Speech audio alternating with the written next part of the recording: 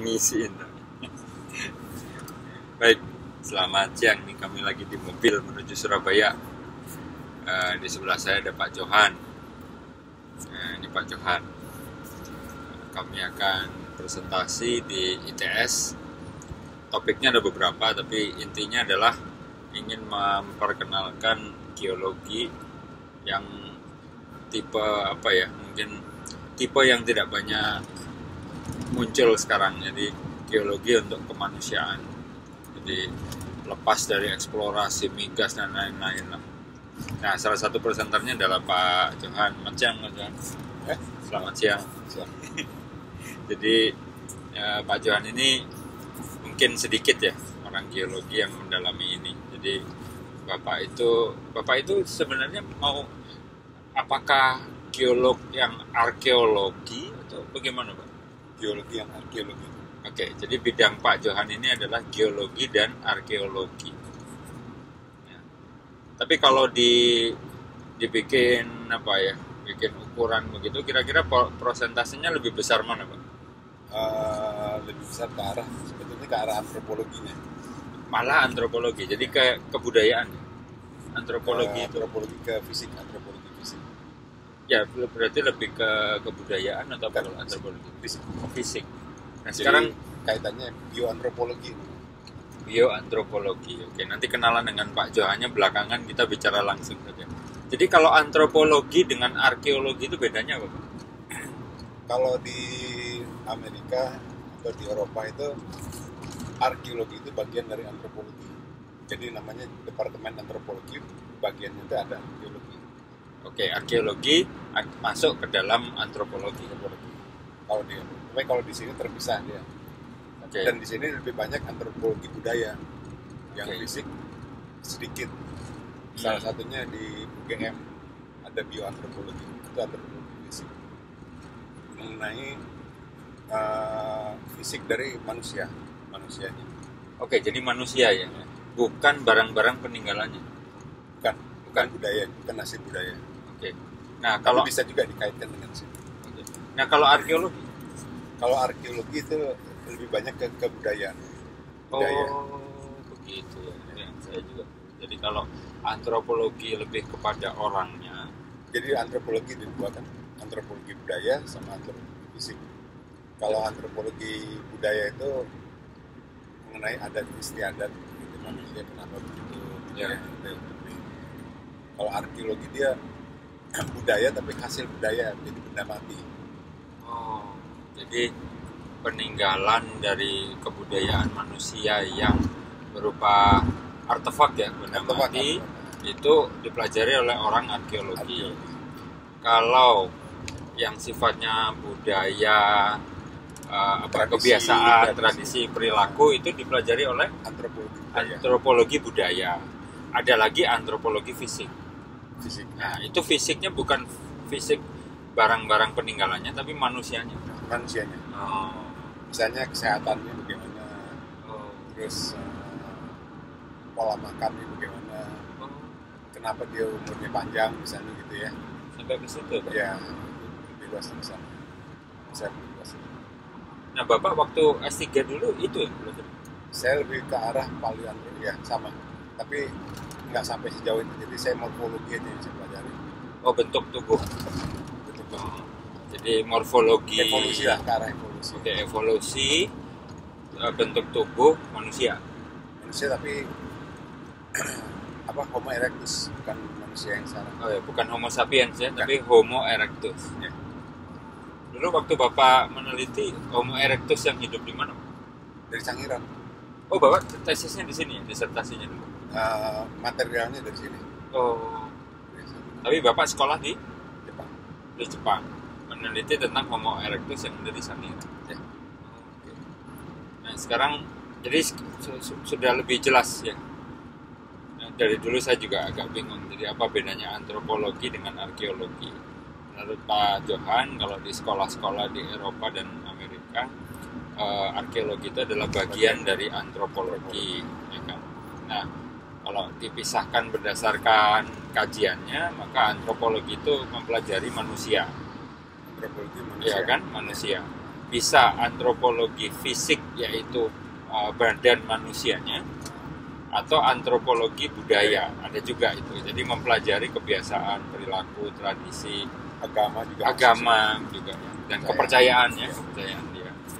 Jadi misalnya Stonehenge itu dipelajari oleh orang antropologi budaya antropologi Stonehenge ya budaya kan jadi bentuk tempat-tempat beribadah tapi juga bisa arkeologi juga. Oke nah di sisi sekarang lain? dipelajari oleh orang astronomi. Oh, arkeoastronomi namanya. Ada lagi itu? Karena arkeologi itu multidisiplin. Oke, jadi saya itu lanjutkan sedikit lagi ya. Jadi eh, ada antropologi tadi sudah saya jelaskan, ada dijelaskan oleh Pak Johan, maaf. antropologi fisik dan antropologi budaya. Nah, arkeologi sendiri adalah ilmu yang mempelajari pen- barang-barang peninggalan, ya, peninggalan artefak dari manusia.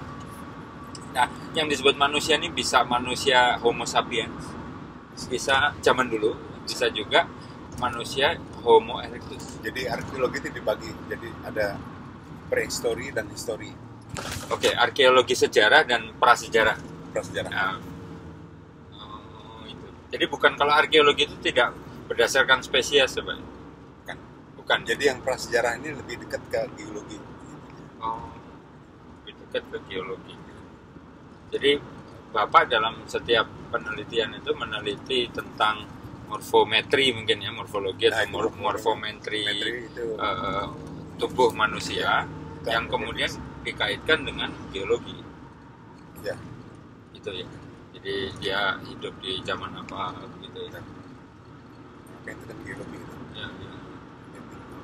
Nah, menurut Bapak ini, menurut Bapak yang seperti Bapak ini banyak atau sedikit?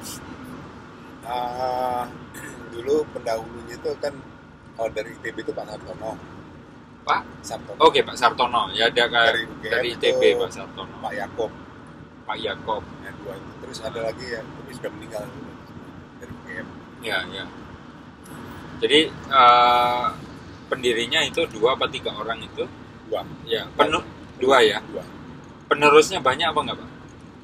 ada sebagian di UGM ada tapi saya nggak tahu apakah dia masih konsen di situ atau enggak satu lagi di UNER ada Oh, di mana?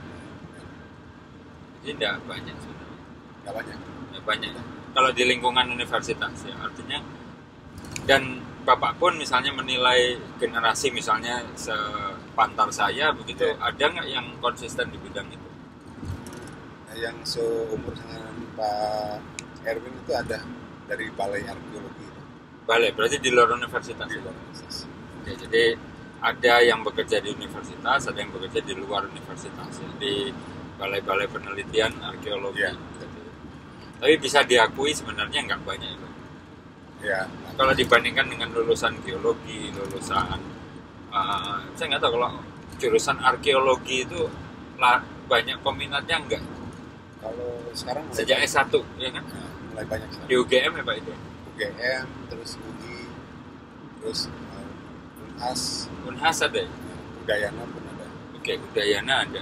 Jadi kalau ada yang menonton video ini dari universitas-universitas itu yang ada prodi arkeologinya, boleh kasih komentar eh, peminatnya bagaimana gitu ya.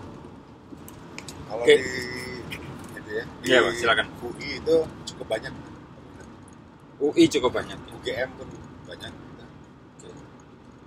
suka. Ya. tapi lulusannya umumnya dia lebih stres ke arah yang histori arkeologi Hmm, yang prehistori nggak begitu banyak oke. Itu kenapa Pak? Iya, Pak. mungkin agak susah nggak tahu saya kenapa itu ya karena yang histori itu kan dia lebih populer gitu ya masalah candi gitu Jadi yang sudah meninggalkan jejak sejarah Nah, gitu ya. ya Tulisan gitu. gitu ya Itu lebih lebih banyak dipelajari orang. Ya. Kalau yang prasejarah prasejarah sedikit. mungkin sedikit Nah, yang Bapak teliti waktu di Sangiran itu prasejarah. prasejarah Apakah mungkin karena apa ya? Saya, saya nggak tahu Pak ya. Saya kan orang air ya. Kalau air itu kebetulan asal hujannya ada, dicari di mana pun kemungkinan, kemungkinan besar air tanahnya juga ada. Gitu ya. Iya. Masalah posisinya dangkal atau dalam itu masalah yang lain. Tapi kalau kalau titik-titik observasi ini eh, apa namanya pal- antropologi ya seperti ini eh, antropologi dan arkeologi ini gimana pak? Maksud saya apakah ada pemicunya? Oh ada itu berarti ada ini gitu. Eh, umumnya itu kan itu temuan masyarakat dan temuan orang Oke. masyarakat dia menemukan sesuatu kemudian dilaporkan ke institusi Hmm. arkeologi Hmm. misalnya pus- pusat penelitian arkeologi yang di Jakarta ataupun balai arkeologi yang Dari daerah. daerah. Nah mereka mendatangi tempat itu kemudian mereka mereka meneliti Jadi awalnya memang Awal. selalu dari tidak sengaja tidak sengaja. gitu ya pak. Jadi tidak ada misalnya kita eksplorasi daerah mana siapa tahu ada. Ada juga sih yang gitu Tapi itu sudah daerah-daerah yang yang memang sudah sebelumnya ada. ada, ini pak. Jadi nggak ada misalnya kita. Di, tapi kebanyakan dari laporan masyarakat. Nah itu dia. Jadi memang tidak bisa di ya, istilahnya ya. Ya selalu berawal dari laporan masyarakat. Ya, Pak. Makanya itu perlu orang geologi. Dari informasi geologi itu kan misalnya dengan mereka lakukan apa survei geofisik gitu kan Hmm. ketemu yang kayak nanti yang besok itu yang Hmm. bicara yang bicara itu kan hasil dari geolistrik tapi memang sudah ada penggalian Hmm. apakah ada kaitannya dengan data geofisik dengan temuan nah ternyata ada Oke. jadi dari lapisan tanah itu kita bisa lihat oh di sini ada sesuatu nih Ya. Jadi agak unik memang ilmu ini, yaitu pada saat lokasi surveinya itu eh, biasanya dimulai dari temuan masyarakat. Nah, artinya apa? Daerah-daerah situs-situs ini mestinya yang diketahui mestinya berhubungan dengan em, orang yang sekarang hidup di situ gitu ya. Katakanlah betul. misalnya ada hutan lebat katakanlah ada peninggalan candi sebesar apa pun kalau Ya. nggak ada orang yang ke situ juga tidak akan ada yang tahu kan begitu ya. Ya. Jadi tidak seperti eksplorasi yang lain begitu ya Pak ya di geologi yang lain. Jadi agak unik memang. Jadi eh, walaupun sebenarnya ini kalau saya lihat banyak sekali ininya Pak ya. Kalau di Twitter itu alih-alih arkeolog, antropologi itu sepertinya kok in- intensif sekali risetnya. Tapi memang lokasinya memang tidak banyak. Ya kan Pak? lokasinya nah itu relatif bisa banyak bisa enggak juga Gitu ya Pak ya. iya Kalau di Indonesia menurut Bapak banyak apa sedikit? relatif gitu ya jadi dia nggak bisa dikatakan oh di sini banyak atau sedikit gitu ya. Hmm, yang jelas itu bekas-bekas pemukiman lama itu pasti banyak di sini. Gitu ya. Iya. kita bisa lihat dari ini yang saya lagi coba di Bandung Utara Nah, ada satu tempat namanya Bojong Kihiang. Oke, Bojong Kihiang. desa Bojong Kihiang. Bojong itu kan artinya apa dalam bahasa Sunda ya? Bahasa Sundanya Bojong itu apa? Teluk kan teluk kalau nggak salah. Teluk kalau nggak salah Oh, Oke. Jadi berhubungan dengan air ya. Ah, kalau nggak salah gitu ya ada bojong koneng bojong kihiang kihiang ini kan kihiang jadi tempat sesuatu yang sakral gitu Oke. nah itu kampung di situ Nah. apakah kampung itu memang kita lihat kampung itu sudah ada kapan gitu ya dulunya berupa apa gitu nah itu antara lain bisa kita jawab dengan penelitian geomorfologi terus yang kedua adalah kita lakukan penelitian arkeologi untuk menjawab itu Oke, jadi pemicu yang lain adalah penamaan. ya Betul ya, penamaan salah- daerah ya, Pak, salah ya? satu salah Salah satu indikasi, indikasi ya kan? Pak? Ah, apa istilahnya toponimi? toponim Ah, toponimi. Jadi eh, nama-nama khusus yang yang yang berasal dari turun temurun. Ya, jadi betul. biasanya satu daerah itu ada Ya. penamaan yang diturun yang turun temurun gitu ya. Misalnya kalau di daerah Jawa Timur itu ada Gunung Anyar misalnya. Nah, ya seperti seperti itu. Nah, itu menjadi indikasi bahwa bisa jadi lah, ya. betul eh, pemukiman yang ada di situ berawal dari pemukiman yang jauh lebih tua sebelumnya begitu. Menarik, Pak. Karena saya kalau lihat National Geographic dan itu sampai eh, contoh misalnya lokasi ini nih apa? Pompei misalnya ya ya yang kena terjang apa ha- eh, produk gunung api itu sampai diteliti bagaimana toiletnya begitu ya. Kehidupan orang zaman dulu bagaimana. Menurut saya menarik. Cuman memang eh, kalau untuk sekarang terutama di Indonesia mungkin nilai ekonomisnya tidak terlalu besar. Ya kan pak ya? Yang Ya, mengakibatkan hobi sih. ya kan? Yang mengakibatkan peminatnya pun tidak banyak. Dan setelah lulus dari sekolah pun tidak banyak juga yang melanjutkan betul ya Pak? ada Iya kan? Betul kan Pak ya? Karena kalau misalnya itu misalnya setengah aja dari lulusan arkeologi itu melanjutkan eh, kegiatannya di bidang yang sama, mestinya kan sudah lebih banyak lagi situs-situs betul ya Pak? lama yang mungkin atau upaya untuk me- mengungkap situs-situs lama itu akan ini sudah banyak lah. Toh sekarang belum belum banyak juga kita dengar. salah satu situs itu yang gua pawon itu ya Oke, gua itu pawon. kan penemuannya orang-orang geologi itu Oke. kemudian baru dilanjutkan oleh orang geologi Oke, jadi peran geologi di sini itu yang pertama masalah eksplorasinya ya. eksplorasi Jadi memperluas jangkauan deteksi bawah permukaan. ya Ya kan, setelah ditemukan oleh masyarakat misalnya sisa tulang anu. Nah, di situ nanti sebelum dilakukan ekskavasi biasanya orang geologi melakukan eksplorasi bawah permukaan gitu ya. dengan macam-macam metode Dengan macam-macam metode terutama geofisika. Nah, setelah itu digali kemudian dalam telaahnya itu juga nanti akan dikaitkan eh, masalah usia geologinya Pak.